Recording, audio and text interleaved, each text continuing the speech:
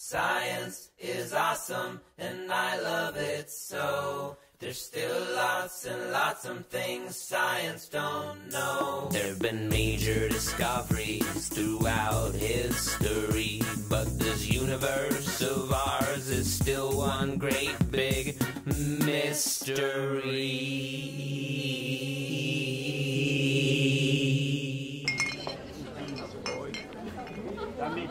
Ich komme von der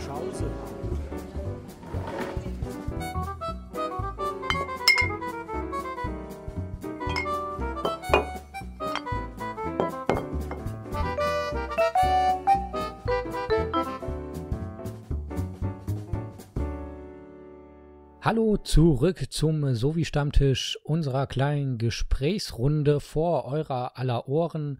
Dieses Mal haben wir unseren kleinen Gesprächskreis um zwei Personen zu einem größeren kleinen Gesprächskreis erweitert.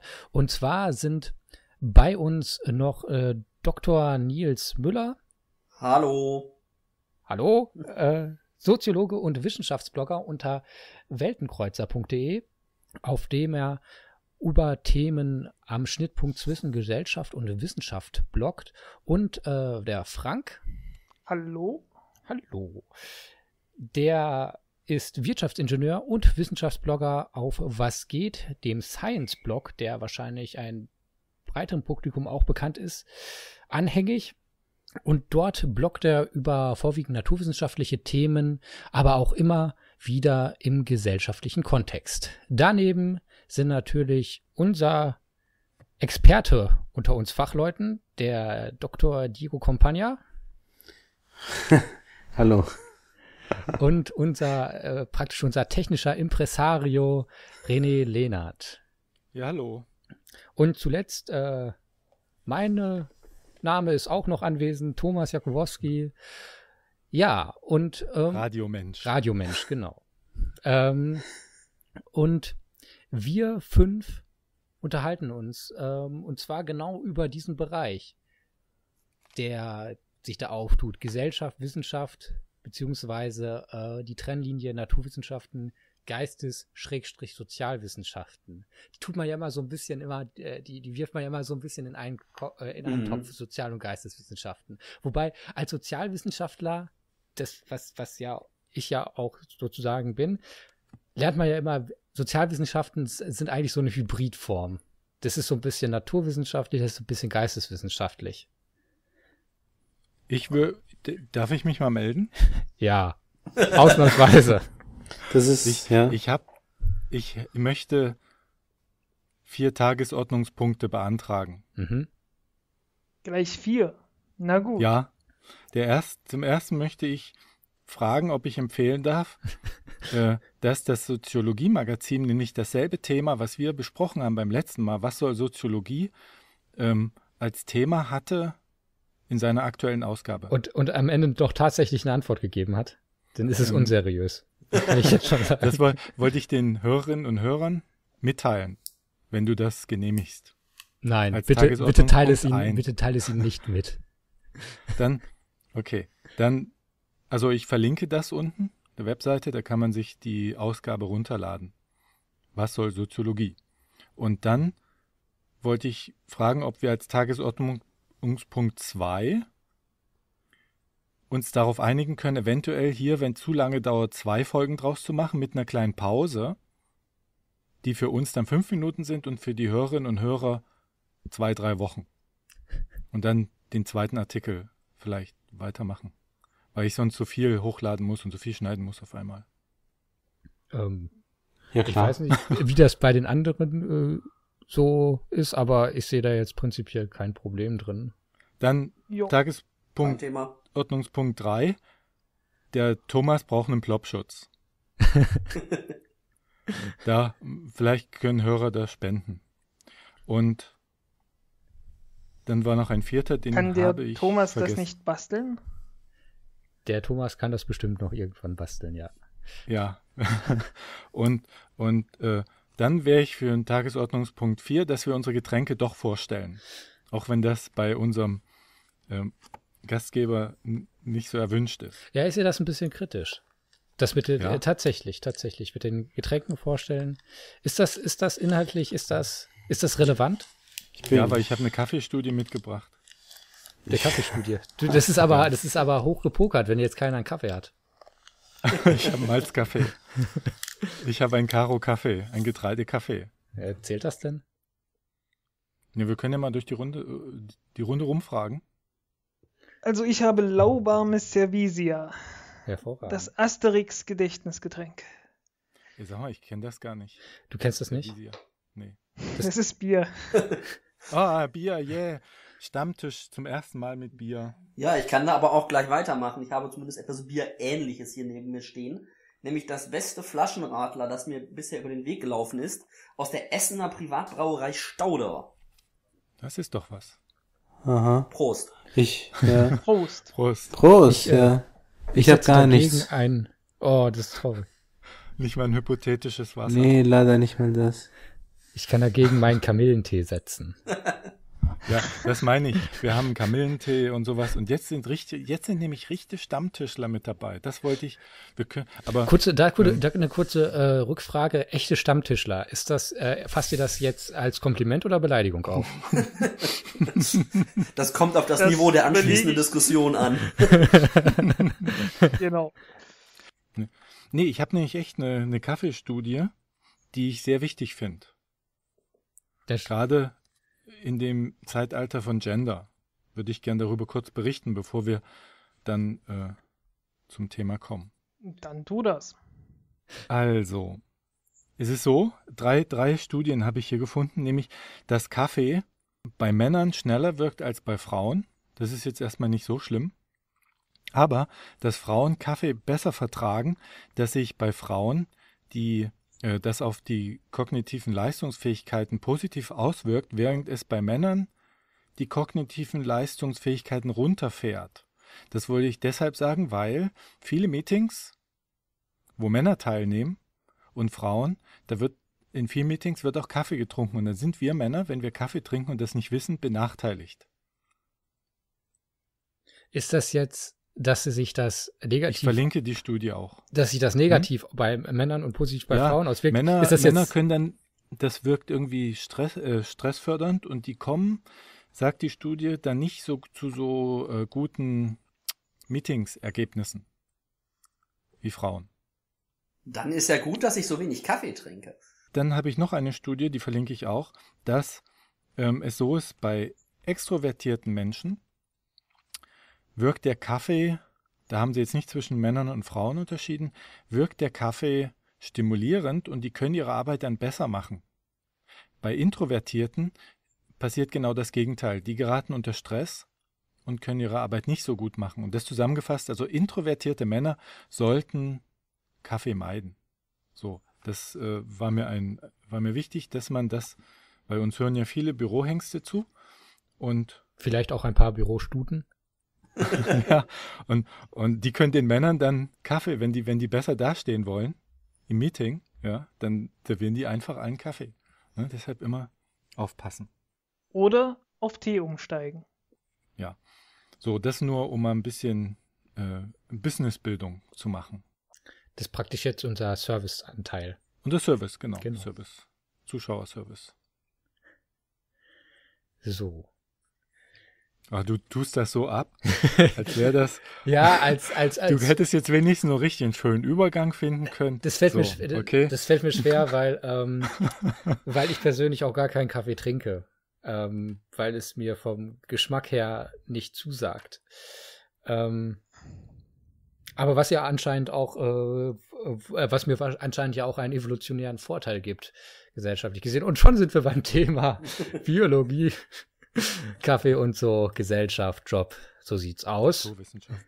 War eine naturwissenschaftliche Studie, wäre der Übergang wahrscheinlich gewesen. ja, äh, Kaffee-Inhaltsstoffe zu untersuchen wäre auch schwierig mit äh, geisteswissenschaftlichen Arsenal. Aber das, äh, das äh, benutze ich doch jetzt einfach mal als Übergang. Da haben wir doch wieder einen Punkt. Äh, die Auswirkungen von, von Kaffee, die jetzt praktisch äh, im, im biologischen System des Menschen unterschiedliche Auswirkungen haben, aber äh, dass darüber hinaus auch konkrete Auswirkungen in sozialen Gebilden, wie zum Beispiel den Job, hat. Ich, ich tue mich da mal ein bisschen schwer, weil also ähm, die, die, die René hat wahrscheinlich völlig, äh, völlig recht, dass das, dass das schon relevant ist. Aber es wirkt irgendwie so anekdotenhaft, diese, diese Studien. Aber es kann ja für einen Job durchaus relevant sein, solche äh, Dinge. Es ist ja auch eine Anekdote. Denn in der Wissenschaft geht es ja meistens nur noch darum, eine Anekdote in Form eines wissenschaftlichen Papers zu veröffentlichen, weil Publish or Perish. Und die meisten Leute ziehen Publish dem Perish durchaus vor. Aber ein wissenschaftliches Paper ist doch nicht an sich, also ist natürlich an sich eine Anekdote, aber es referiert doch nicht nur eine Anekdote. Es ist doch gerade eine der, der Kernsachen, dass gerade auch die Wiederholung und die Kontrolle ähm, Teil der im wissenschaftlichen Paper getroffenen Aussage sind. Manchmal möchte ich da meine Zweifel anmelden. Ja, sagen wir es so, es wäre zumindest das erwünschte Ideal. Ja. Ja, so, so ein Ideal, aber es ist, also ist ja auch bei die Frage, ich finde das dann halt schwierig. Für wen, für wen macht man denn dieses Paper dann auch? Wenn es, also es wird ja auch dann oft im Rahmen von Forschungsmitteln, ne, ganz knallharte ökonomische Interessen stehen ja oft denn hinter solchen, äh, solchen Dingern dahinter und oh, es ist, es kommt ja unter, mit, äh, es kommt ja bisweilen vor, ich, ich, ich formuliere es mal ganz vorsichtig, äh, dass denn diese Übersicht über diese Papers gar nicht von äh, Menschen geschieht, die die Qualität in dem Rahmen auch einschätzen können und wo man dann mit, mit einer, mit, sage ich mal, so na, wie sagt man, massenmedientauglichem Schreibstil, Inhaltsstil halt auf was reißen kann. Das kommt halt einfach auch drauf an, wo jetzt René diese Studie her hat, ob er die Primärquelle gelesen hat, die amerikanische die, Forschung. mö die Ja, dann möglicherweise ist das von, von per se schon seriös.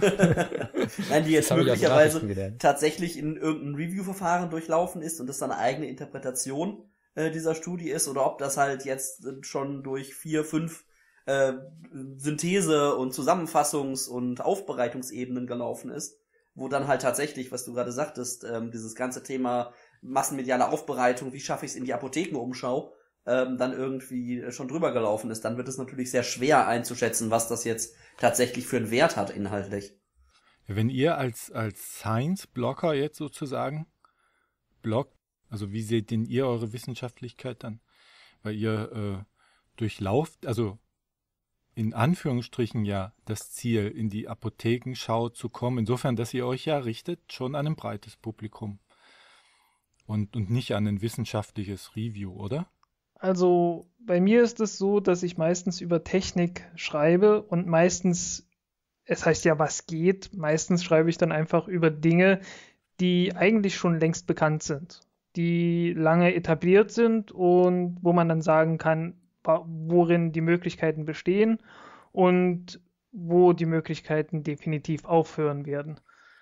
Und von daher habe ich da relativ wenig Probleme. Ich kann einfach auf einen sehr großen Fundus von Erfahrung, die Jahrzehnte zurückgeht, zurückgreifen und brauche mir da relativ wenig Gedanken zu machen. Ja, bei mir ist das Ganze ein bisschen anders. Äh, der Sozialwissenschaftler hat ja immer das, den Vor- und gleichzeitig auch den Nachteil, ähm, dass irgendwie alles irgendwie geht. Also die äh, Soziologie kennzeichnet sich ja, sie schreibt es sich positiv auf ihre Fahnen. Ob das so ist, kann man gerne darüber diskutieren. Also dass das positiv ist. Diese ganze Theoriepluralität und ähm, Komplexität in der Argumentation. Und was ich blogge, sind meistens Argumentationslinien. Also es ist jetzt gar nicht so, dass ich vorgebe, dass das empirisch ähm, belegte Studien sein oder empirische Studien einzelne, die irgendwie einen bestimmten Zusammenhang belegen. Das ist ja in den Sozialwissenschaften ohnehin äh, echt schwierig. Und ähm, ich bin eher so auf einer etwas grö größeren Ebene, etwas abstrakteren Ebene zu gucken, ähm, ja, was sind denn so Argumentationslinien, die man zu einer bestimmten Frage einnehmen kann? Oder was nehmen auch bestimmte Autoren für Positionen ein? Die Frage, ob das jetzt empirisch belegbar ist oder in irgendeinem strengen Sinne objektiv richtig, stellt sich da ja eigentlich gar nicht. Das ist dann eher die Frage, ist es schlüssig? Ist das irgendwie spannend, die ganze Sache sich aus der Perspektive ähm, anzuschauen? Und äh, was kann ich daraus mitnehmen, wenn ich das aus der Perspektive tue? Das ist ja, das ist ja irgendwie, das ist ja schon so ein bisschen egalitärer dann. Ja, weil Prinzip, wenn, wenn ich, wenn ich jetzt als, als unbelesener Mensch da hinkommen würde und mir das durchlese, so eine Argumentationslinie können, können mir ja auch als Fachfremden Inkonsistenten in der logischen Struktur oder so weiter halt in der Struktur der Argumente auffallen. Bei, bei etablierten Wissen ist es ja immer so ein bisschen schwierig. Da ist man ja schon auch den Fachmenschen angewiesen, der dieses Wissen irgendwie vorausgesetzt hat und dem ich zutraue, dass er das hat. Es ist ja so ein bisschen. Es ja, ist, naja, eigentlich nicht. Eigentlich ist man in der Sozialwissenschaft sehr viel mehr auf den Experten angewiesen, äh, weil der Experte im Zweifelsfall derjenige ist, der das Ganze beurteilt und dann über Wohl und Wehe entscheidet. Bei den Naturwissenschaften kann auch jeder Laie, der sich ernsthaft belesen, ernsthaft studiert hat und äh, die Materie mehr oder weniger beherrscht, äh, tatsächlich Dinge beurteilen. Das kommt jetzt das vielleicht. ist bei den Sozialwissenschaften sehr viel schwieriger.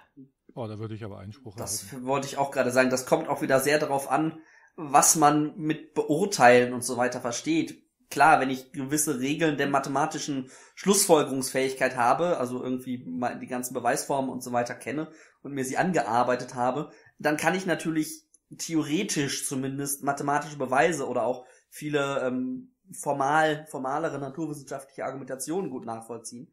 Aber gerade in den Sozialwissenschaften, da ist, stellt sich diese Frage richtig oder falsch oft gar nicht. Also es gibt ein schönes Buch, das ich vor Ewigkeit mal gelesen habe und schon wieder fast alles vergessen habe, mit dem schönen Titel Everything is obvious once you know the answer. Und das gilt für in den Sozialwissenschaften oft sehr, dass es oft tatsächlich sehr eingängig ist, was man liest. Es kann natürlich sein, dass der Experte dann dahinter sagt, da fehlt jetzt noch die Dimension. Oder das hat, da, der vernachlässigt diesen Punkt, der irgendwo im Hintergrund noch auftaucht. Aber ich glaube, so eine grobe Argumentationsnachvollziehbarkeit ist in den Sozialwissenschaften relativ einfach. Ähm, die strenge Wissenschaftlichkeit, die man jetzt aus einer formalen Argumentation zum Beispiel erwarten würde, die stellt die Sozialwissenschaft an sich gar nicht, weil sie das aufgrund ihres Objektes und ähm, ihrer ja ihrer Herangehensweise an die Welt auch eigentlich gar nicht so gut kann. Ja, und genau darin liegt äh, die Ursache für den Streit dazwischen, ne? Ist nicht auszuschließen. Also ich finde den Begriff Streit ein bisschen, ein bisschen überzogen. Ich finde, die beiden äh, können wunderbar nebeneinander, miteinander und sich unterschiedliche Dinge angucken. Ähm, ich sehe da nicht Notwendigkeit für einen Streik, äh, Streit. Ähm, die Notwendigkeit für einen Streik, das sollte man irgendwann mal diskutieren. Okay.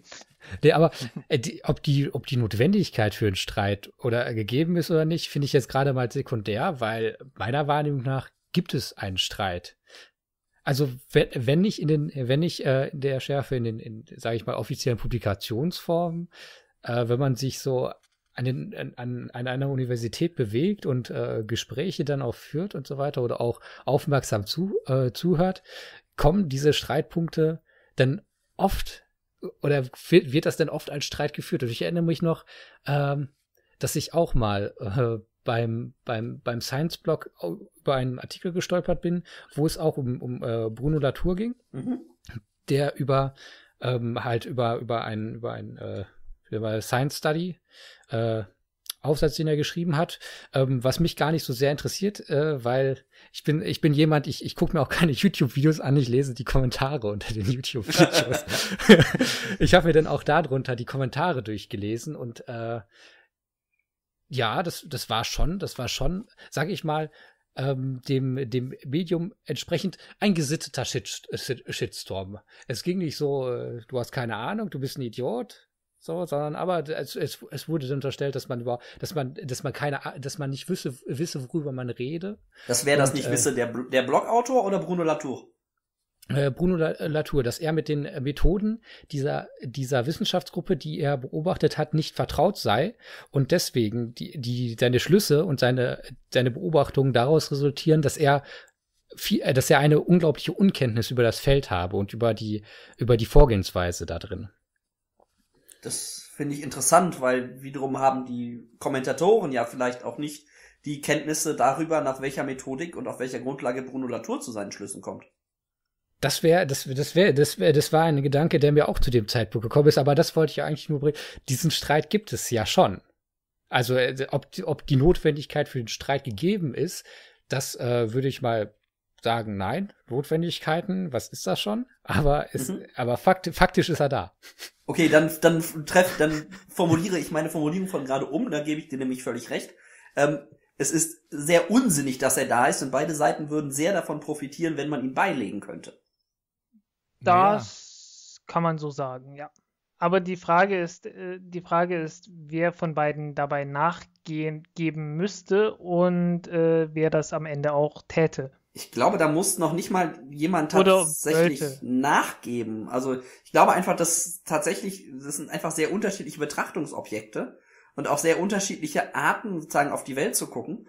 Und äh, ein Beispiel, was ich gerne für innerhalb der Soziologie bringe, wenn sich irgendwie Systemtheoretiker mit Macht und mit Machttheoretikern unterhalten oder so, dass dann irgendwie der eine sagt, dieser Apfel ist rot.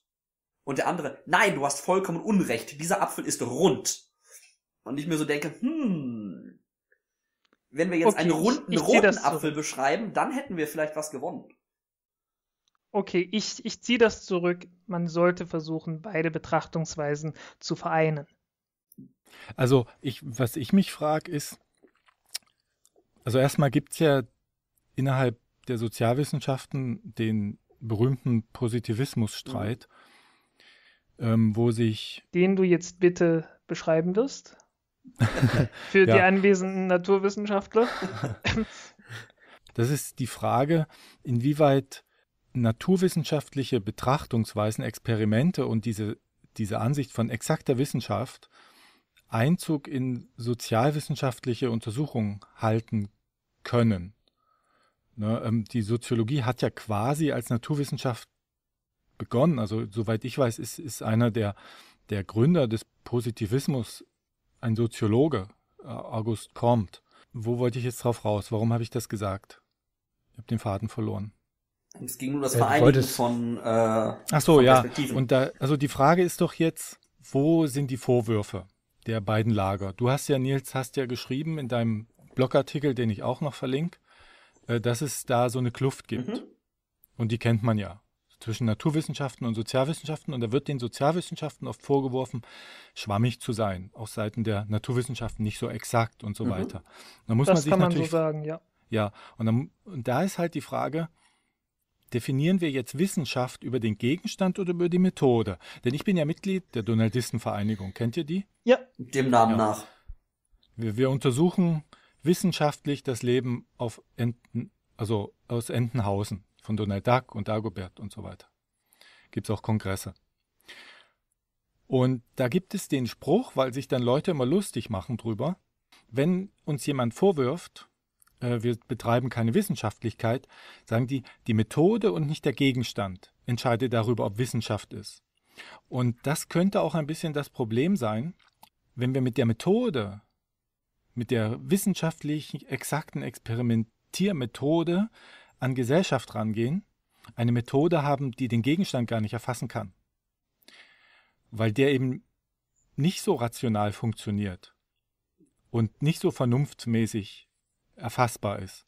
Und wir als Soziologen und Sozialwissenschaftler befassen uns mit der Gesellschaft und sagen dann, okay, wir haben angefangen, als die Soziologie gegründet wurde, das naturwissenschaftlich anzugehen mit Durkheim, Comte und so als soziale Physik, als Sozialphysik, hat sich nicht so bewährt und dann haben wir die bisschen aufgeweichte Methoden und versucht den Gegenstand anzupassen, während die Naturwissenschaften uns, das ist mein Eindruck, vorwerfen, nicht exakt bei ihrer Methode, beim quasi kritischen Rationalismus, der sich da festgefahren hat in den, Sozialwiss äh, in den Naturwissenschaften mit Karl Popper, nicht da festgehalten zu haben. Aber wir haben ja ge irgendwie gesehen, äh, damit kommen wir nicht weiter.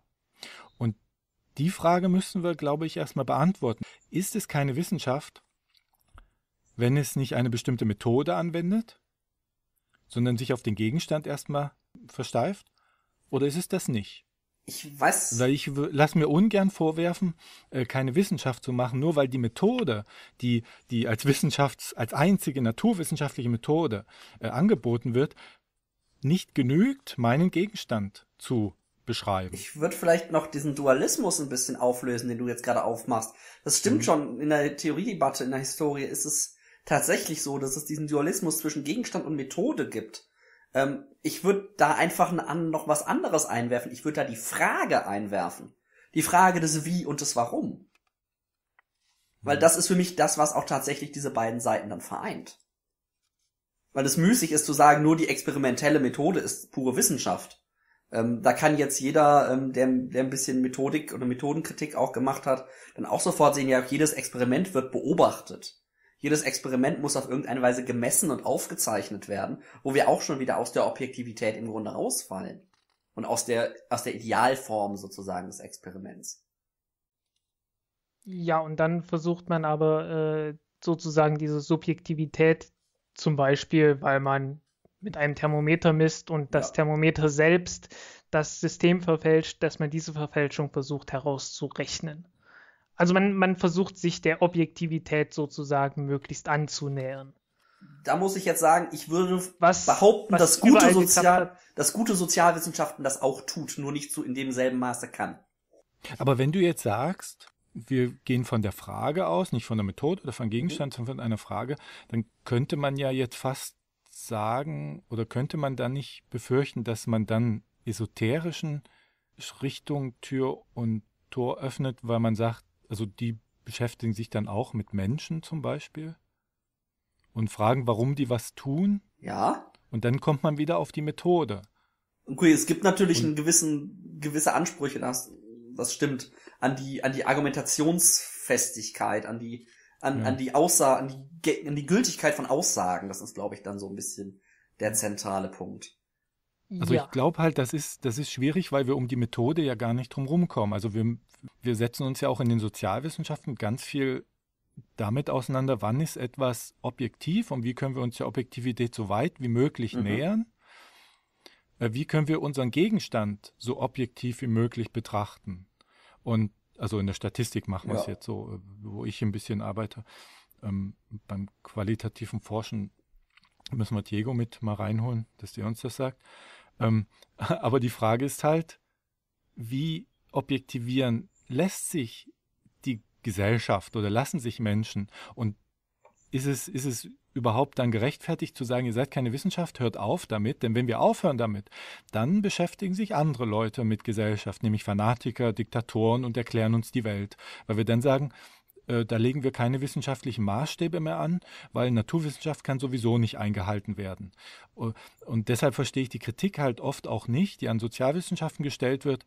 Äh, ihr seid nicht wissenschaftlich. Wir nähern uns so weit wie möglich unserem Gegenstand mit wissenschaftlichen Methoden an. Und da seid ihr Naturwissenschaftler auch immer nicht, noch nicht zufrieden. Aber das liegt ja nicht an uns. Das liegt ja am Gegenstand. Ja, aber es gibt mindestens einige Fälle, in denen ähm, die, äh, die naturwissenschaftlichen Erkenntnisse und die Sozialwissenschaften äh, sich überschneiden oder zumindest sich ins Gehege kommen. Also dass das eine einen Einfluss auf das andere hat.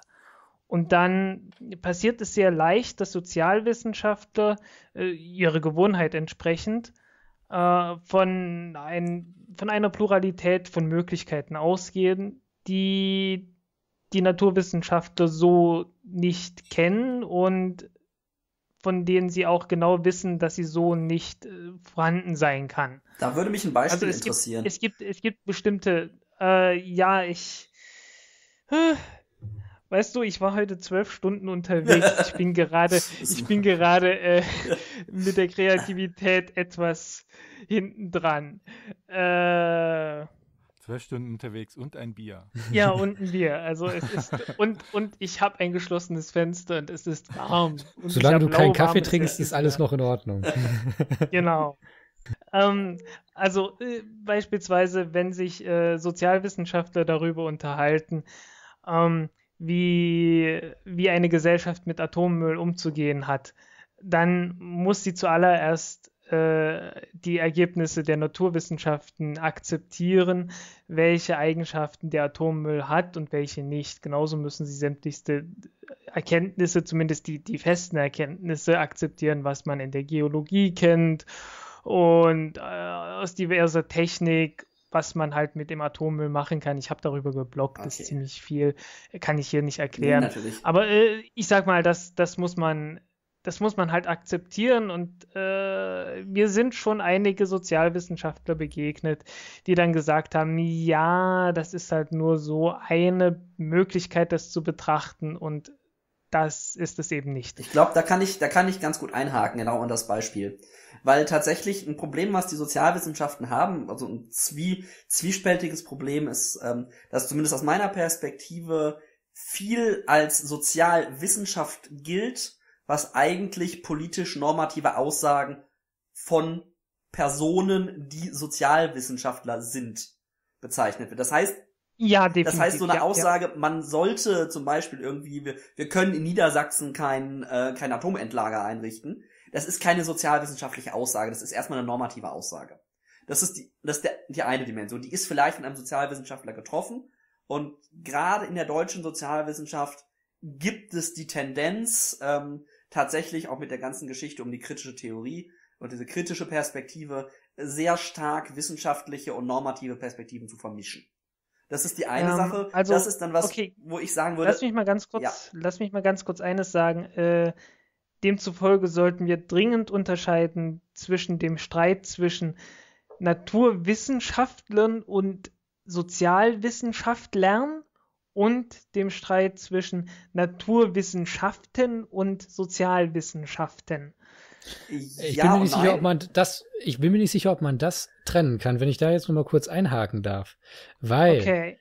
ähm, ich glaube, ich, ich glaube, es ist, es ist, es ist, es ist grundsätzlich diese beiden, diese, sage ich mal, beiden Figuren der Sozialwissenschaften an sich und der Sozialwissenschaftler, Sozialwissenschaftlerin auseinander zu dividieren. Genauso aber ist es aber auch, ist es schwierig, das auf der Seite der Naturwissenschaften zu tun, weil der Vorwurf, der dann ja oft kommt, der ist ja derart, dass, was, dass dann gesagt wird, das, was ihr da jetzt äh, rausbekommen habt, gerade bei so sehr kontroversen Themen wie Atomenergie, Atommüll.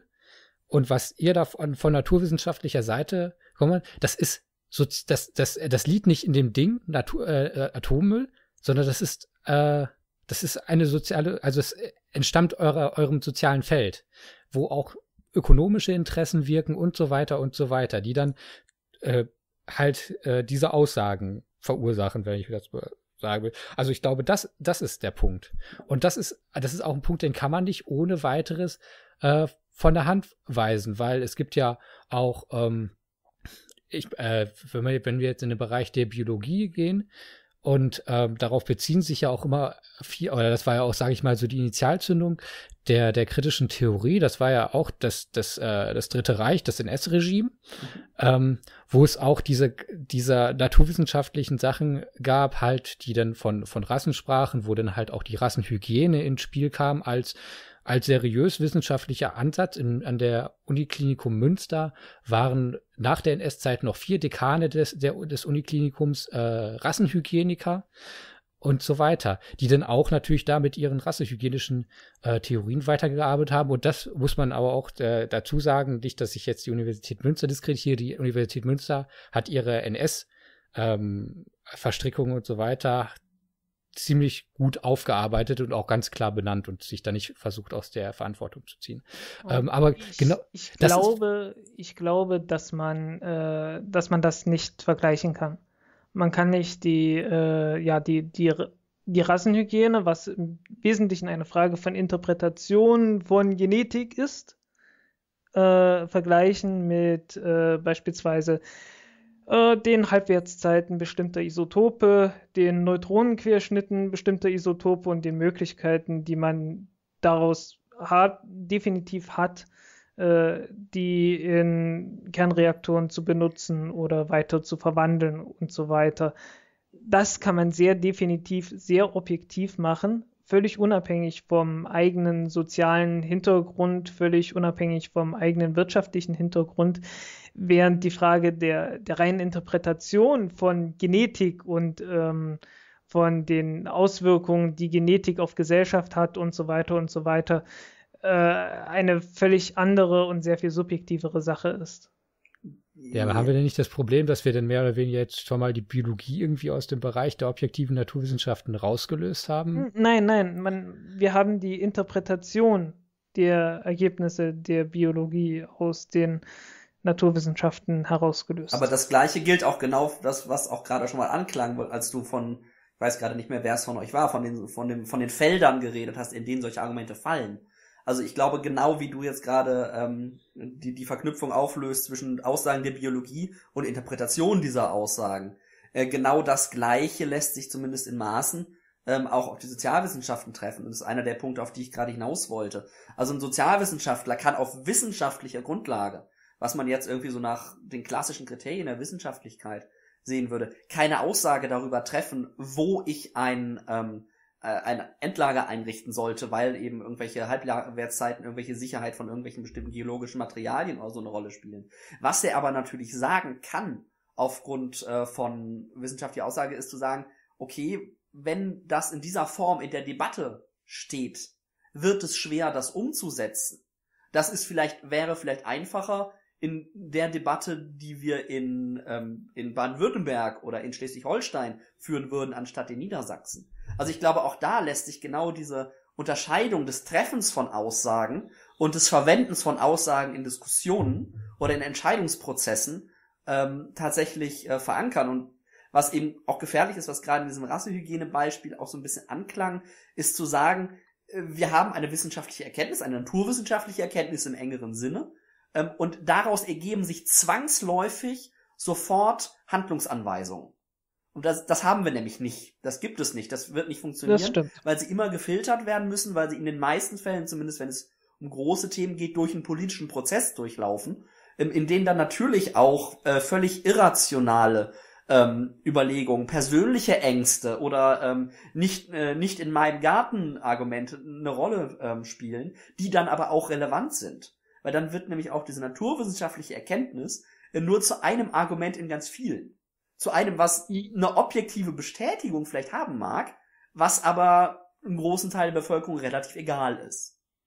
Ja, also der, der Punkt ist, glaube ich, dass die naturwissenschaftlichen Erkenntnisse den Handlungsrahmen vorgeben. Und es ist manchmal recht schwierig zu sagen, wo genau dieser Handlungsrahmen liegt, wo der anfängt und wo der aufhört, weil man manche Handlungsrahmen, bestimmte Handlungen vielleicht gar nicht sieht oder nicht sehen will. Ja. Äh, zum Beispiel äh, werden viele Leute gar nicht darüber nachdenken, dass man vielleicht äh, mit Atommüll umgehen kann, indem man weiterhin äh, Atomkraftwerke betreibt. Weil sie kategorisch gesagt haben, nein, Atomkraftwerke wollen wir überhaupt gar nicht mehr haben. Ja. Aber da sind wir in der politischen Diskussion, da sind wir nicht mehr in, der, ja, das ist, in das wissenschaftlichen ist eine, eine äh, Erkenntnisprozessen. Ja, aber der, der, der Punkt ist halt der, äh, der wissenschaftliche, der wissenschaftliche Erkenntnisprozess liefert dir die Möglichkeiten, äh, allesamt.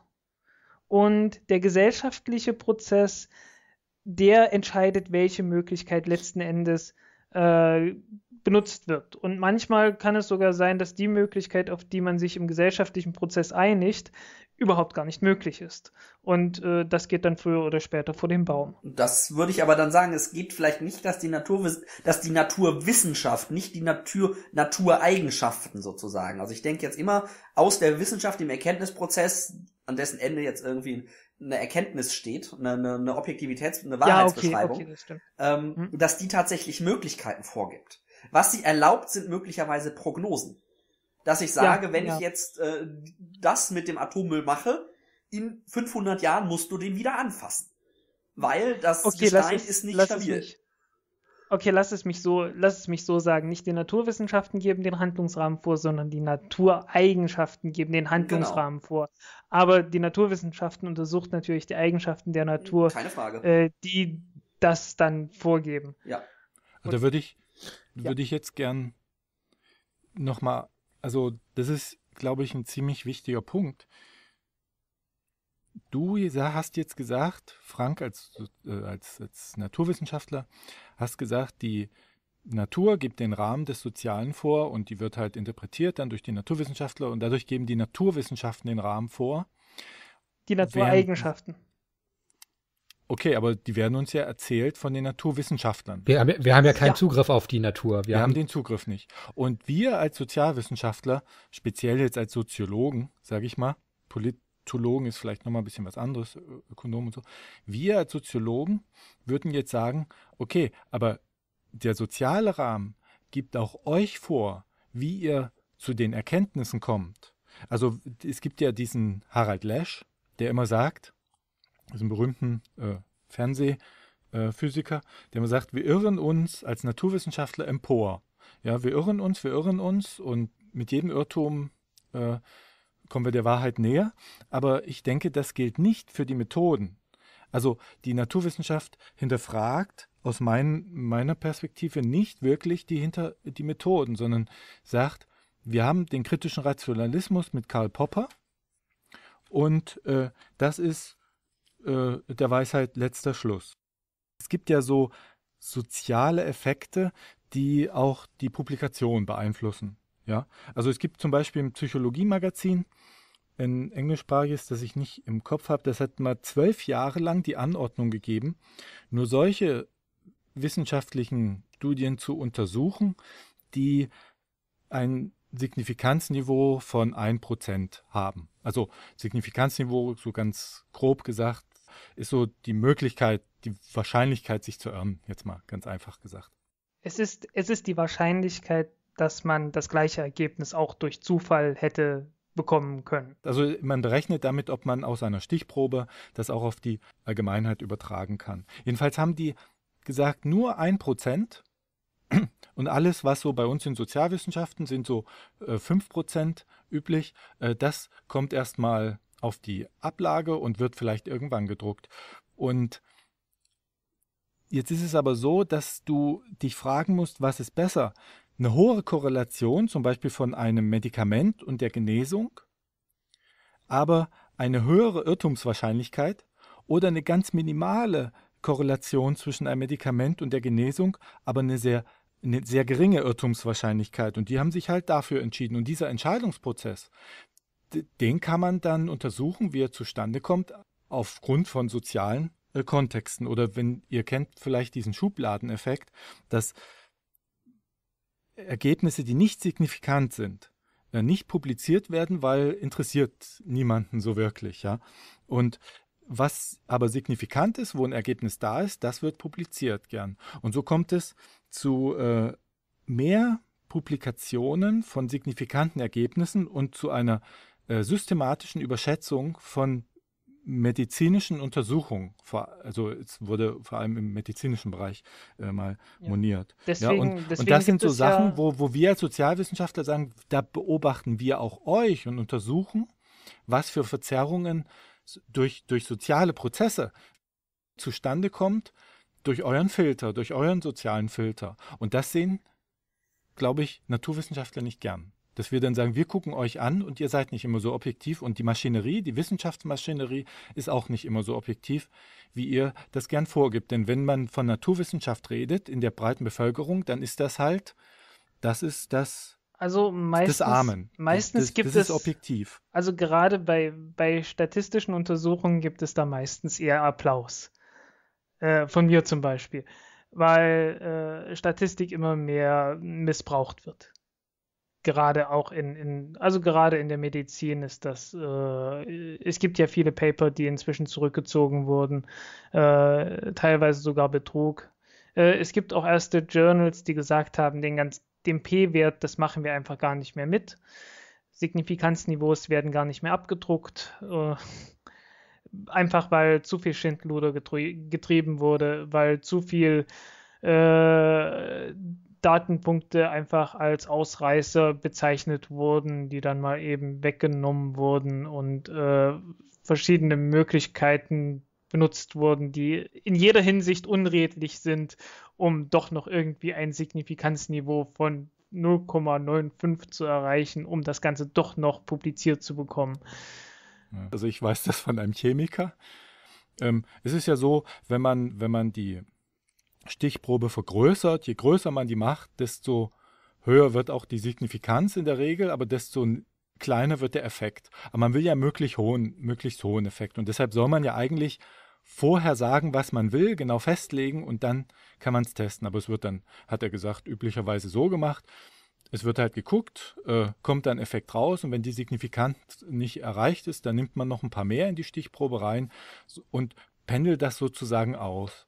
Äh, das wäre ein offenes Geheimnis bei denen in der, in der medizinischen Chemie. Ne? Ja, es gab ich, mal, äh, es geisterte mal vor aber einiger hätte ich Zeit, mir auch denken können. es geisterte mal vor einiger Zeit auf Twitter das Hashtag Overly Honest Methods. Hm, ja. Und äh, ja, ich habe dort, ich glaube einmal, ein einziges Mal war, glaube ich, dabei, äh, dass jemand gesagt hat, wir haben einen Statistiker zu Rate gezogen, der uns erklärt hat, was zum Teufel wir dort eigentlich gerade getan haben. Alle anderen, alle anderen Diskussionen über Statistik liefen eher so in die Richtung, ja, wir haben das rausgenommen oder sonst was. Äh, es war schon, es war grausam, wirklich grausam. Aber du, du bist ja jetzt aus den Naturwissenschaften. Äh, kommt man denn ohne Statistik dort klar? Geht das Nein, denn? Das ist ja der Witz. Ja, und wenn das aber so eine, so eine teilweise sozialen Verzerrung hat, dann müsst ihr euch ja von uns auch belehren lassen. Ja, es gibt ja auch schon mehr als genug Streit deswegen. Also, ne, also nicht mal, nicht mal, äh, nicht mal unter Anleitung von irgendwelchen Sozialwissenschaftlern, Ja. sondern einfach schon äh, alleine innerhalb der Naturwissenschaften, äh, weil die Ergebnisse, die man auf die Art und Weise rausbekommt, natürlich totaler Unsinn sind. Ne? Das sind einfach so Zufallsergebnisse. Ich habe eine ganz interessante These von einem Freund von mir, der Alexander. Der hat, hat also der arbeitet in der Philosophie und der hat gesagt, hat die These aufgestellt, es gab so vor 20 Jahren sehr fähige Professoren und dann kam so nach und nach so die, ähm, die dieses Business-Denken und, und dieses äh, Unternehmensdenken in die Universitäten und da kam es halt immer mehr darauf an, jetzt Leute zu finden, die ordentliche Anträge schreiben können, die da ein Talent haben.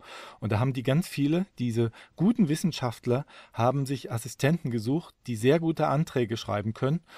Die, ob die gute Wissenschaftler waren, war dann nicht so wichtig. Hauptsache, die können äh, die Anträge schreiben, für die man dann die Zuschläge bekommt. Und die Generation ist ge- äh, dann, die alten Professoren sind in Rente gegangen und die Assis wurden dann Prof selber Professoren und jetzt hätten wir eine ganze, eine ganze Generation von guten Anträgeschreibern, die aber keine Wissenschaft betreiben können.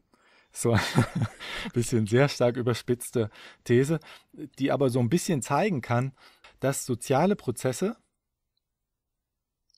äh, durchaus auf die Qualität von Naturwissenschaften Einfluss haben können. Das kann Und wir- definitiv wir kommen ja passieren. nur über, über euch Naturwissenschaftler an die Ergebnisse. Die sind ja gefiltert. Die Natur spricht nicht zu uns. Ja, und es wäre, es wäre sicherlich die Aufgabe der Sozialwissenschaften, das zu untersuchen und dort, wo es Auffälligkeiten gibt, dann auch zu sagen, ja, schaut da mal hin, hier läuft irgendwas gerade schief. Ja, aber ich glaube, ich glaube, dann sind wir nämlich wieder bei dem Punkt, ähm, der, der äh, Science-Blog äh, Shitstorm über diesen Artikel äh, von äh, Bruno Latour. Da Weil, sind wir noch gar nicht drauf eingegangen. Stimmt. Weil genau, im Prinzip Bruno Latour mit, mit, seinen, mit seinem Science Studies Ding, der hat ja, der hat ja, ähm, äh, Nils wird das wahrscheinlich besser wissen. Ich Ähm. bin kein Naturexperte. Okay, dann, ähm, Ich habe dieses Hab ich eine Buch von, ich habe dieses eine Buch von ihm gelesen. dann habe ich dich jetzt spontan dazu erklärt. den Diego. Der Diego ist das. Diego, du hast dich, äh, du hast dich jetzt immer vornehm zurückgehalten, aber wir wollen dich jetzt mal in den Streit mit reinziehen. Mit Bruno Latour. Genau, Bruno Latour. Ja, ich dachte gerade, das wäre eigentlich ein, ein äh, das letzte Statement hat, hat mir eigentlich sehr gut gefallen von dem Naturwissenschaftler. Ich habe jetzt leider den Namen Frank. vergessen. Frank? Genau, von Frank. Und irgendwie hatte ich so das Gefühl, äh, das könnte jetzt eigentlich ein gutes Schlusswort gewesen sein für diese, für, für diese Folge. Also, ich habe Immer wenn du dich damals- meldest, sagst Ja. du, wir gehen nach Hause. Das war beim letzten Mal auch so. Du schweigst und Ja, dann, es äh, ist- Diego, hast du es was, ist- ja, wir könnten jetzt Schluss machen. Naja, ne, das letzte Mal habe ich ja durchaus auch ein bisschen was gesagt. Aber, ähm, aber so, dass, dass ich, ja, also der Wirkungsgrad war einfach nicht so, nicht so positiv. Aber es ist also, ein sehr effektiver Rausschmeißer, das muss man wahnsinnig- sagen. Wahnsinnig, ja, wahnsinnig lang gebraucht, um äh, etwas zu sagen, was man in, üblicherweise in, wesentlich, also wesentlich schneller hätte sagen können. Aber wie auch immer, auf jeden Fall, ähm, ich glaube, dass Platon, da müssten, da müssten wir, René, da müsstest du Alexander fragen, den du ja bereits äh, Mhm. zitierst, zitiert hast. Ich glaube, Platon äh, hat, oder Sokrates, also sein, sein Lehrer sozusagen, ich weiß nicht, einer von beiden, glaube ich, hat gesagt, dass Vernunft bedeutet auch, äh, also sozusagen zu wissen, wann äh, es angeraten scheint, nichts zu sagen. Also, also Das verstehst fand, du? das fand ich jetzt weil, nach weil einer Vernunft, also, fand ich die ne- Aussage sehr enttäuscht. Nein, also weil Vern- Vernunft ist, ist ja Logos und Logos, also im Griechischen jetzt, also ganz ursprünglich, also sozusagen, was jetzt so die, die, die Wiege sozusagen der abendländlichen, also der Kultur des Abendlandes, wenn wir sie jetzt in das antike Griechenland verorten möchten, dann würden wir eben sagen, okay, Logos ist dann der erste Ausdruck dessen, was so man unter ungefähr Vernunft verstehen könnte. Und gleichzeitig bedeutet Logos ja aber auch Wort, also das gesprochene Wort äh, hauptsächlich, aber natürlich auch das geschriebene. Und äh, da in einem dieser, dieser Dialoge, ähm, die ja alle von Sokrates geführt werden, aber ja von Platon ja dann nachträglich quasi aufgezeichnet worden sind, also verschriftlicht worden sind und irgendwann fängt ja Platon an, sozusagen mit Sokrates zu sprechen. Also tut's dann, also, äh, naja, wie auch immer. Auf jeden Fall, ich weiß halt eben nicht mehr, ob das sozusagen diese frühe Phase äh, fällt, also so, dass man das eher Sokrates äh, dann zuordnen müsste oder eher Platon. Da müsstest du halt Alexander nochmal fragen. Aber ich fand das damals halt sehr beeindruckend, dass sozusagen Logos als Wort, aber eben, wenn wir eher darunter Vernunft verstehen, auch bedeuten kann, dass es manchmal sozusagen vernünftig ist, ähm, keine Worte zu gebrauchen. Und ich hatte jetzt nicht das Gefühl, dass ich mich da jetzt irgendwie hätte. Ich habe so gern zugehört und die Diskussion war doch so so äh, so vernünftig, dass ich jetzt nicht Weißt du was? wusste, wie ich wie ich das hätte vernünftiger werden We lassen we können. weißt du, was ich Und, jetzt machen werde? Ja, Äh, ich Ja. werde mir dein Statement auf, auf eine Karteikarte schreiben ja, und dann lege ich mir so Karteikarten an, die ich immer einsetzen kann, ja. wenn ich irgendwas gefragt werde. Immer. Was wie bei ja, wie bei Stefan Raab, also mit diesen diesen Tasten. die ja, genau, so. Und dann, was immer total klug, weil das klingt ja sehr intelligent und man verweist auf Platon und so weiter, ne? Wenn man sowas dann, und dann sagt man nichts, aber hat voll äh, ins Schwarze getroffen. Aber äh, trotzdem, ich äh, finde es gut, dass du dich noch gemeldet hast. Vor allen Dingen die Wirkung, Also, die Wirkung ja. von Platon ist immer sehr viel größer, als wenn man sagt, Konfuzius sagt. Ja, der, ist, der ist ein bisschen Das äh, stimmt, ja. äh, entwertet Ja. worden. Überst- Ja.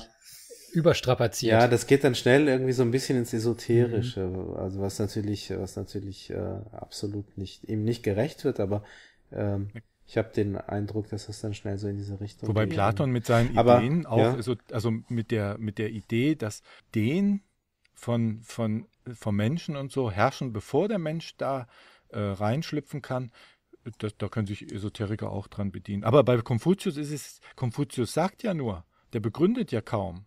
Platon hat alles schon begründet, aber Konfuzius sagt ja nur. Deshalb sagt man ja auch, er naja, sagt. äh, das kommt daher, dass im Chinesischen die Werke immer anfangen mit Konfuzius sagt, also Kung Zu Shuo ba ba ba ba ba. Ne? Also, also irgendwie, die, die, die, die fangen halt jeden Absatz damit an, Ja, dass ich man glaube, gesagt ich, hat, ich habe also ich habe mal einen Bericht über ihn gehört und da sagte ein Historiker, es wäre in der Gegend damals eher so gewesen, dass man, so wie bei uns im Mittelalter dann in, in, in Europa, äh, dann eher, also dass so ein Gelehrter dann seine Begründung eher aus seiner Wichtigkeit und seiner eigenen Person herzieht. Ich bin, ich, ich bin der und der und deshalb äh, kann ich das so und so sagen. Aber ich glaube, das ist doch heutzutage nur sehr beschränkt ist es anders. ja auch immer, ja genau.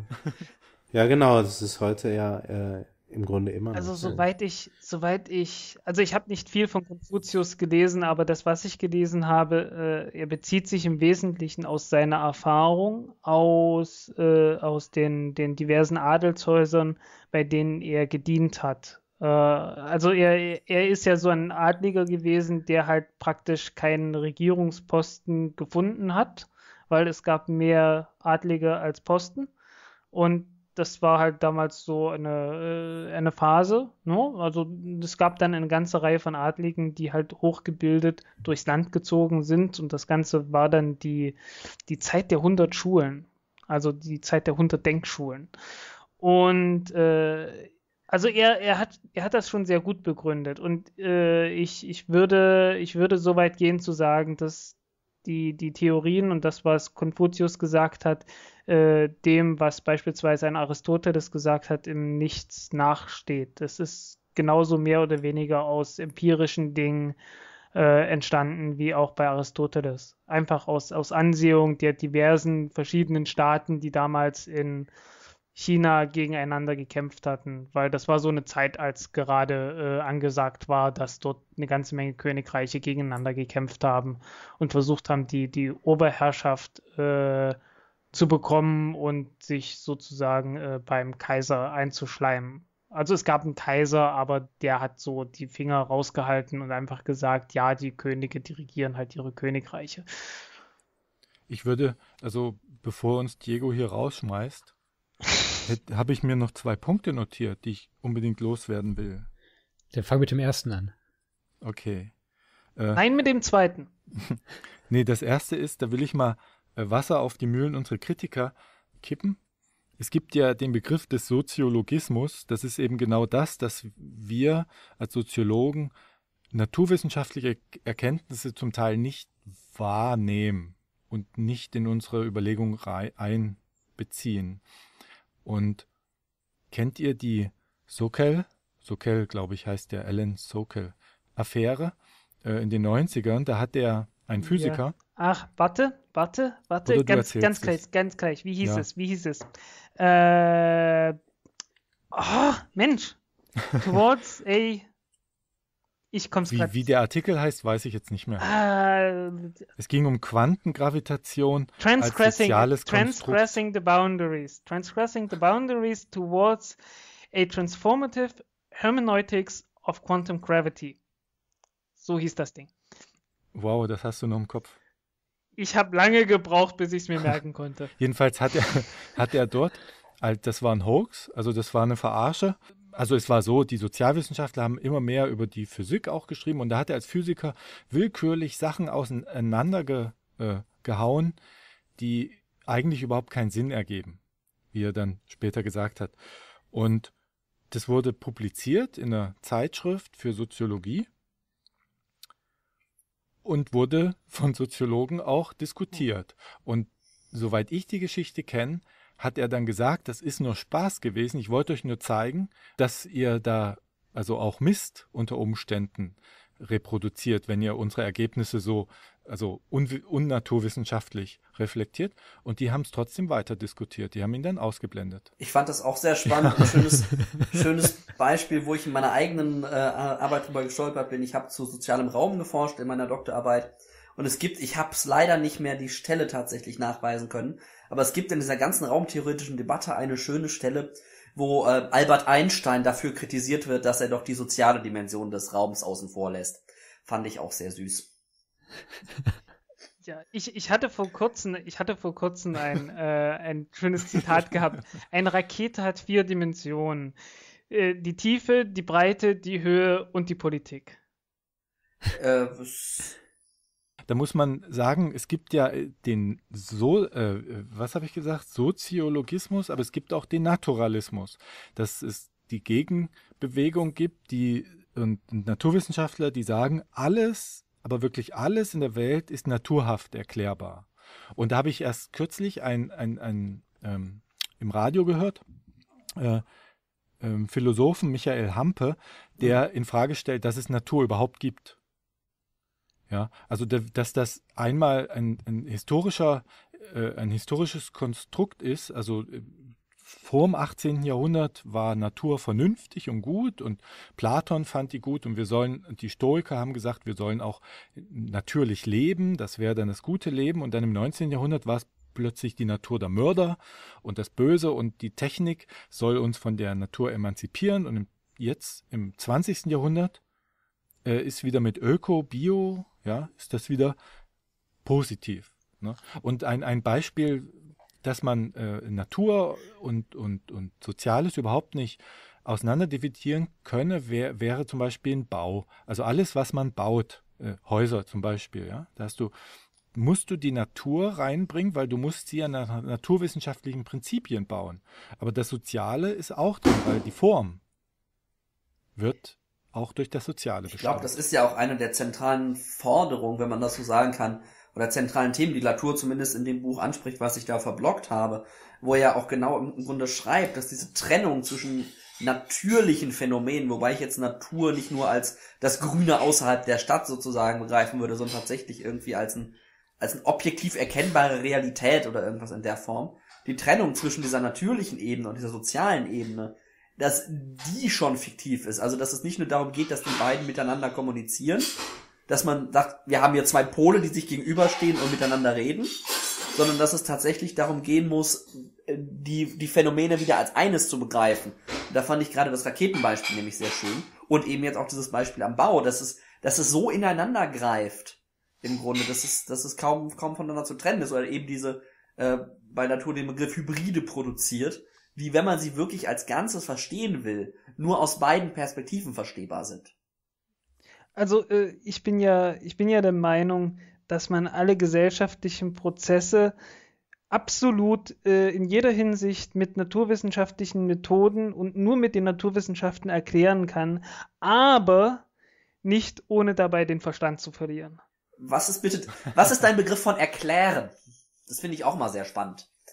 Naja, einfach, einfach genau zu sagen, wie das Ganze funktioniert. Also, äh, bis ins allerletzte Detail. Aber wie gesagt, das, das geht, aber nicht ohne dabei den Verstand zu verlieren. Und damit man das nicht tut, äh, fängt man dann irgendwann sowas äh, zu tun, wie Sozialwissenschaften zu betreiben, damit man es einfach nicht, damit man sich halt nicht zu weit in den Details, damit man sich nicht zu weit in den Details verliert, die man äh, anführen müsste, um soziale Prozesse dann tatsächlich mit äh, reiner Naturwissenschaft, mit reiner Chemie und Physik äh, erklären zu können. Also bist du ein Anhänger, kennt, kennt ihr den Doktor Stoll? Ja. Alexander Stoll. Das ist aber eine heftige der Beleidigung. Ist, der jetzt. Ist nein, also der ist gestorben. Also, Erstens, ja. es gibt nur äh, drei und zweitens- ich möchte, ich möchte dazu nur mal kurz einwerfen. dass er gestorben von mir weisen. Dass er gestorben ist, ist nicht Mathematik? sicher. Dass er gestorben ist, ist nicht sicher. Es wird, es wird gemunkelt, es wird gemunkelt, dass die, äh, dass die USA ihn kassiert haben, weil er ist ja Experte für, Strahlentechnik. äh, für, für Massenvernichtungswaffen und dass die den kassiert haben und äh, der jetzt für die arbeiten muss. Wird gemunkelt. Ich sag's ja nur. Ja, aber ich will dir das gar nicht vorwerfen. Aber er hat gesagt, als letzter vor kurzem noch oder vielleicht noch lebender Universalgelehrte unserer Welt, hat er gesagt, es gibt, alles ist erklärbar durch Physik, Mathematik und Philosophie. Muss man wissen. Das muss man wissen. Muss man Ja, wissen. wie gesagt, aber das kann man tun, aber nicht ohne den Verstand zu verlieren und äh, alles weitere über die Person äh, des Herrn Stoll sollte man sich dann daraus ableiten können. Verstehe ich dich dann richtig?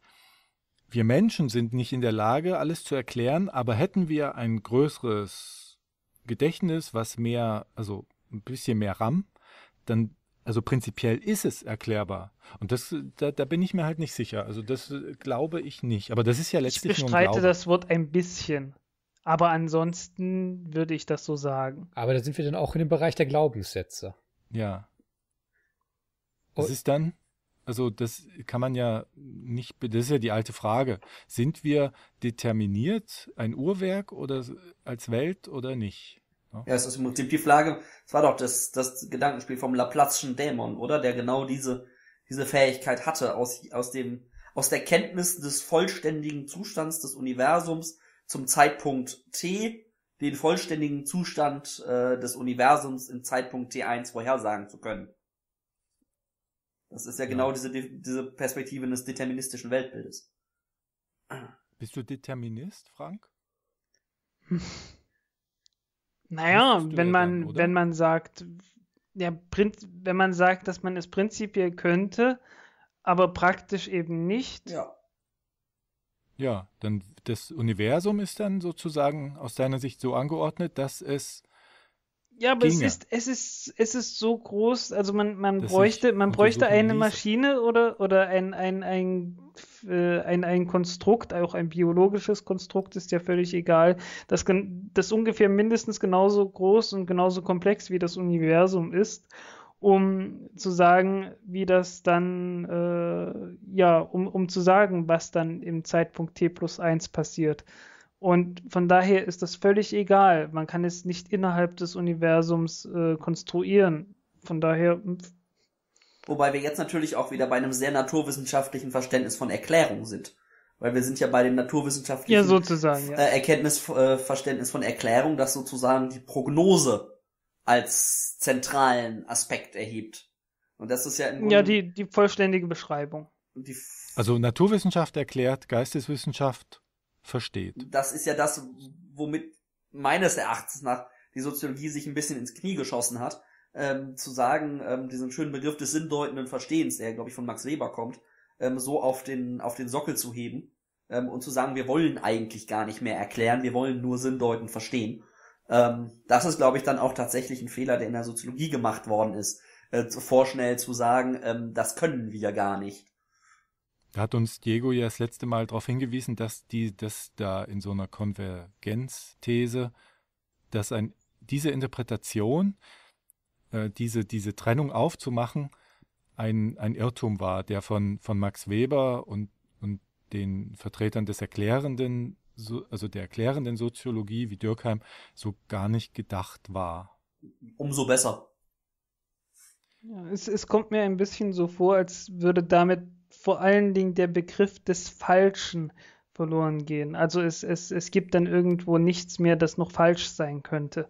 Das ist, genau, das ist der Punkt. Jetzt erinnere ich mich wieder. Ich glaube im Positivismusstreit, ich weiß es gar nicht mehr genau.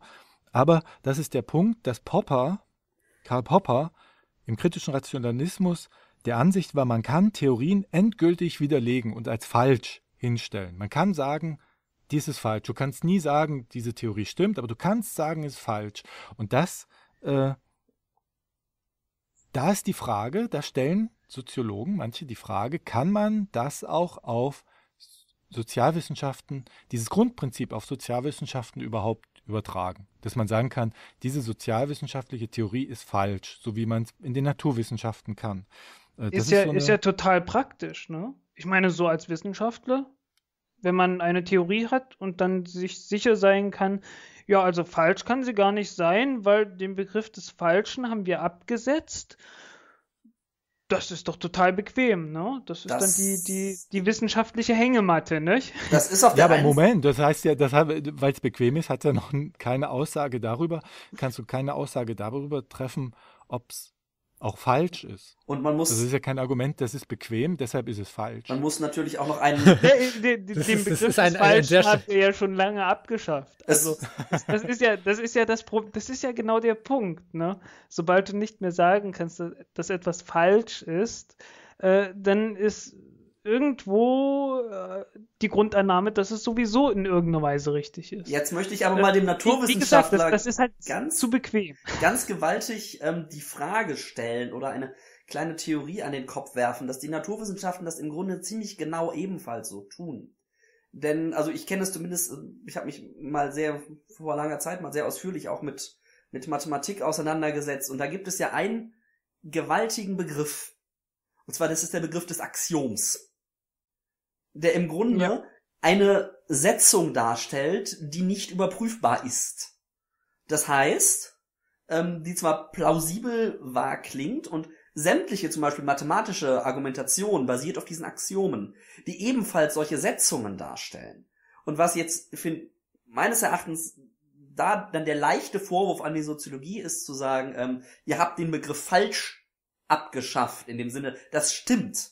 Das ist tatsächlich ähm, durchaus berechtigter Vorwurf, ähm, aber gleichzeitig eben in der eigenen, in eigenen Disziplin diese axiomatische Setzung im Hintergrund zu haben, die im Grunde sagen, den Begriff falsch, den verschieben wir hinter den Ereignishorizont. Ähm, dessen sind wir uns gar nicht mehr bewusst sozusagen, dass das, was wir machen, hier falsch sein kann. Ich, vielleicht hast du zufällig das Buch gelesen, ich fand es sehr beeindruckend, Ähm, wenn Frank mir da eine naturwissenschaftliche Einschätzung zu geben kann, umso besser. Das Buch von Lee Smolin ähm, im Universum der Zeit.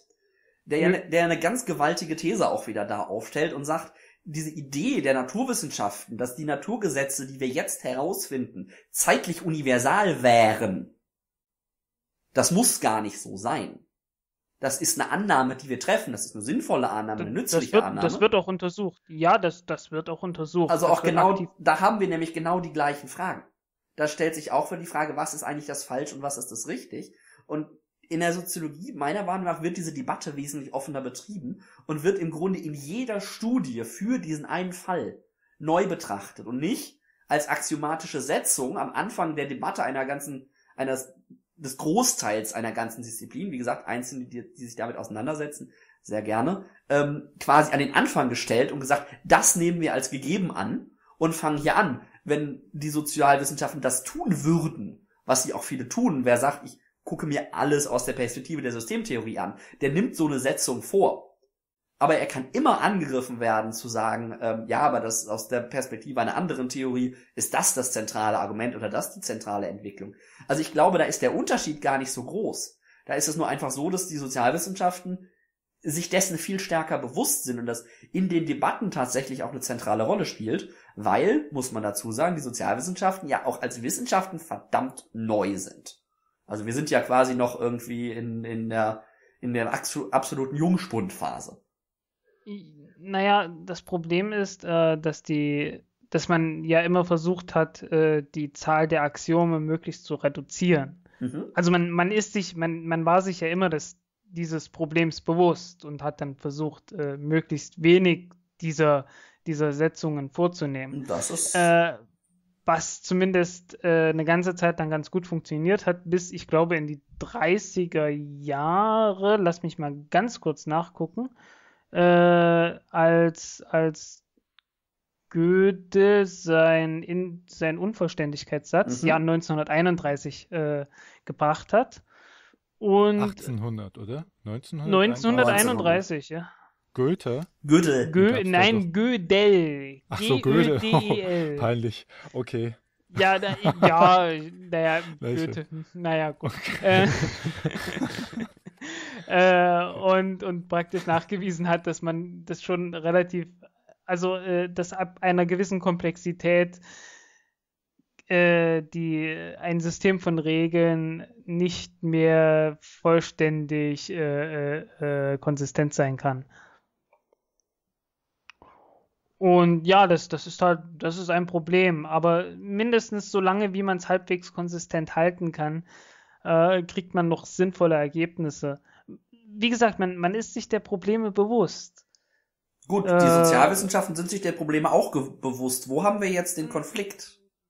Der, der, naja, der, der Konflikt liegt darin, dass man in den Sozialwissenschaften nicht wirklich versucht, diese ganzen Axiome äh, so weit wie es geht zu reduzieren. Also das ist die zweite Stufe. Worin liegt der Konflikt? Der Konflikt liegt in der ersten Stufe darin, dass die Naturwissenschaften einfach grandiose Prognosen ja. abgeben können und wenn man die bezweifelt, bauen die alles drumherum so wieder auf, wie es im Experiment war und dann wiederholt sich das. Das kannst du in den Sozialwissenschaften ja aus zwei Gründen Schwierig. nicht. Du kannst das, die das Gesellschaft nicht nochmal genauso das aufbauen. Ist vor allen Dingen bei den Sozialwissenschaften, äh, bei den, bei den Naturwissenschaften, wenn du dagegen verstößt, dann tritt dir die Natur einfach in den Hintern. Also es geht, nee, es geht mir jetzt wirklich, weil ihr ja Blocker seid, auch wieder zur, zur, zum Publikum zurück. Also die, die Anerkennung spielt ja auch eine Rolle und die findet die Naturwissenschaften durch ihre Möglichkeiten, Prognosen abzugeben und zu sagen, die Kanonenkugel fliegt so und so weit, wenn das und das gegeben ist. Bei sozialwissenschaftlichen hast du halt einmal das Problem, diesen Kontext genau so wiederherzustellen, um Experimente zu machen. Und zum Zweiten hast du das Problem, dass du durch die Prognose selbst das System beeinflusst. Also durch diese selbsterfüllende Prophezeiung. Also ist ja bekannt mit der ja. Benzinprognose, ne? Äh, die Benzinpreise werden knapp, alle kaufen Benzin und es wird tatsächlich knapp. Hast die Prognose bestätigt. Und da gibt es Überlegungen, wie man äh, aus dieser Falle rauskommt. Also da gibt es ja das aristotelische Logikprinzip von richtig und falsch. Und dann gibt es so andere Logiker wie das, die Günther-Logik, also die neben richtig und falsch noch was anderes setzt. Das ist ähm, ein, ein Beispiel wäre so eine Prognose, eine Prognose, dass nach dem Auslaufen ein, äh, ein Schiff kentern würde. Das will man jetzt testen auf richtig und falsch und der Kapitän läuft erst gar nicht aus. Dass die Prognose selbst auf das System, auf die Gesellschaft wirkt, ist ein, ein zusätzliches Problem, was wir haben. Und bei den Kanonenkugeln will ich noch mal kurz äh, euch sagen, euch, euch da, euch Naturwissenschaftlern, da hast ihr zwar sagen könnt, die Kanonenkugel fliegt in so und so einer Bahn so und so lange, das perfekt voraussagen könnt, aber ihr nehmt ja gar nicht alle äh, Sachen mit rein, die wir mit reinnehmen müssen. Hat der Schütze der Kanonenkugel einen guten Tag gehabt? Fliegt äh, zufällig ein Vogel äh, in die Kanonenkugel rein? Das blendet ihr alle aus. Also wenn wir so viel ausblenden würden, ne, dann wäre es ja keine Soziologie mehr. Wir müssen in der Gesellschaft so viele Faktoren müssen wir mit reinnehmen. Also die können wir gar nicht mehr reduzieren, sonst hätten wir ja Physik. Ne? Der Gegenstandsbezug ist und nicht der Methodenbezug, zu sagen, wir müssen alles mit dieser experimentellen Methode beschreiben können. Nein, wir haben einen Gegenstand, wir haben die, ähm, die Gesellschaft und das zu beschreiben, da brauchen wir eben 2.000, 3.000 Variablen. Ne? Und dann kannst du nicht mehr vorhersagen, ob die Kanonenkugel fliegt, weil du gar nicht mehr weißt, ob irgendwo ein Verbot erlassen wird, ein gesellschaftliches Waffenverbot. Dann fliegt nämlich überhaupt keine Kanonenkugel. Da kannst du noch so viel Physik machen. Ne? Naja, das, das dreckige Geheimnis der Naturwissenschaften ist ja, äh, dass man das sagt und dann halt in manchen Situationen sagt, ja, das können wir halt nicht berechnen. Also wir, ja. wir können dir ganze, wir können dir ganz genau sagen, wie du das berechnest und du wirst jetzt einen Supercomputer damit für die nächsten, naja, zwei, drei Millionen Jahre damit beschäftigen können und dann wirst du genau wissen, was rauskommt. Ich möchte das nochmal ergänzen, weil ähm, es gibt ja, es gibt ja viele Theorien, die dann auch noch dazu, noch äh, zu diesen ganzen Variablen, die ja sich da bewegen, noch eine, noch, noch eine Zusatzdimension nehmen, hernehmen, dass sich das, was denn da passiert, gar nicht mehr aus den einzelnen Variablen beschreiben lässt, sondern nur noch aus dem Zusammenspiel der Variablen. Also, ja, genau. dass, es, dass es analytisch keinen Sinn mehr macht, also dass es analytisch überhaupt keinen Sinn ergibt, diese Variablen einzeln zu betrachten, sondern dass die Variablen zusammen halt das, das ist ja, weil ich glaube, das ist ja das, was man den Emergenz nennt, dass ja. das alles zusammen mehr als ist als die, als, als äh, die Summe seiner Teile. Ne? Das kennt man, glaube ich, ich glaube, das praktische Beispiel ist aus der, ist, ist einfach aus der, aus der, aus der Sprache halt ein, ein Wort ist, ist sehr viel mehr als die Zusammensetzung der Buchstaben. Ja, also es, es gibt unendlich viele Beispiele. Äh, ja. Die, das einfachste Beispiel ist, glaube ich, das Drei-Körper-Problem. Äh, ist ganz einfach. Also sowas wie, sowas wie Erde, Sonne, Mond äh, ist schon mal analytisch nicht mehr beschreibbar. Also du, du kannst jetzt keine Formel äh, aufstellen, die dir ganz genau sagen kann, äh, was Erde, Sonne und Mond, selbst wenn es sonst auch im ganzen Universum nichts gibt, äh, was die genau tun werden. Ist es nur praktisch nicht möglich oder theoretisch undenkbar? Ist es nur äh, praktisch? theoretisch, theoretisch undenkbar, aber praktisch möglich. Damit Moment. jetzt, jetzt hast du mich verwirrt. Äh, das ja, das, das, war auch, das war auch Sinn und Zweck der Sache. Äh, der Punkt ist, theoretisch ist das echt unmöglich. Aber in der Praxis kannst du das Ganze so weit vereinfachen, dass du äh, zumindest sinnvolle Ergebnisse bekommst, die dann für ein paar Jahrtausend oder sowas äh, vernünftige Ergebnisse liefern. Jetzt aber du könntest, du könntest auf gar keinen Fall das Ganze jetzt auf, auf zwei Milliarden Jahre oder so äh, fortsetzen. Das, jetzt, das geht nicht. Du musst dann wirklich langsam. Verstehe ich nicht ganz, wie du, wenn, wenn schon dieses Dreikörperproblem so groß ist. Jetzt in der Soziologie, wenn wir uns mal auf gesellschaftlicher Ebene bewegen, haben ja, wir quasi ein 100 gibt, Millionen ein Körperproblem. Jetzt stellt sich mir die Frage, wie geht das zusammen mit deiner Aussage von vor, ich weiß nicht, einer halben Stunde, dass im Prinzip alles sich entsprechend modellieren und äh, beschreiben ließe, wenn wir nur den gigantischen Megacomputer hätten. Ja, es, es gibt eine zweite Methode, das zu machen. Du kannst nicht nur einfach eine Formel aufschreiben, das wäre die elegante Variante, mhm. die halt beim Dreikörperproblem nicht mehr funktioniert. Äh, die unelegante Methode ist einfach, dass du äh, ein, in kleinen Zeitschritten vorwärts gehst mhm. und für jeden Zeitpunkt tatsächlich, äh, wirklich für jeden Zeitpunkt berechnest, wo ist jetzt gerade der Körper, wo geht der als nächstes hin. Und dann beim nächsten Zeitpunkt das gleiche nochmal berechnest und beim nächsten Zeitpunkt das gleiche nochmal berechnest und so weiter Okay. und so weiter. Gut, das ist natürlich schon Und- eine massive Einschränkung. Das ist eine sehr massive Einschränkung, ja.